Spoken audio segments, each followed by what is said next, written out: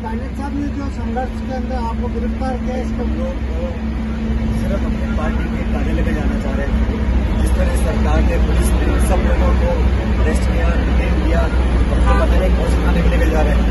लेकिन ये बड़ा गलत है लोकतंत्र के लिए अपनी बात रखना चाहते हैं, जो कानून हम तोड़ नहीं रहे, अपनी पार्टी के ऑफ़िस जाने में रोका जा रहा है। इस प्रकार की तानाशाही और रवैया, मैं समझता हूँ लोकतंत्र के लिए बहुत बुरा संकेत है। घोषणा करता हूँ निंदा करता हूँ लेकिन अपने संघर्ष को हम जारी रखेंगे और न्याय के लिए हमेशा लड़ते रहेंगे राहुल अपने ऑफ़िस में जा रहे हैं हम लोग क्यों कर रहे हैं। अपने अपने ऑफ़िस में क्या है? है दफ्तर में जाने में क्या क्यों रोक रहे हैं आप लोग? क्या बात है?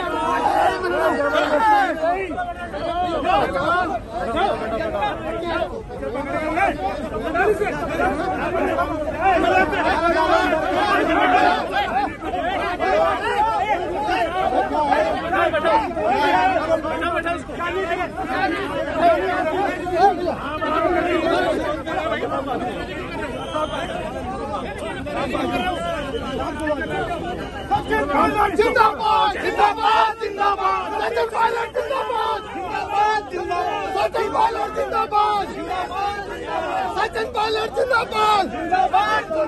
सचिन पायलट जिंदाबाद। जिंदाबाद सचिन पायलट जिंदाबाद। जिंदाबाद सचिन पायलट जिंदाबाद। सचिन पायलट जिंदाबाद। सचिन पायलट जिंदाबाद। सचिन पायलट जिंदाबाद।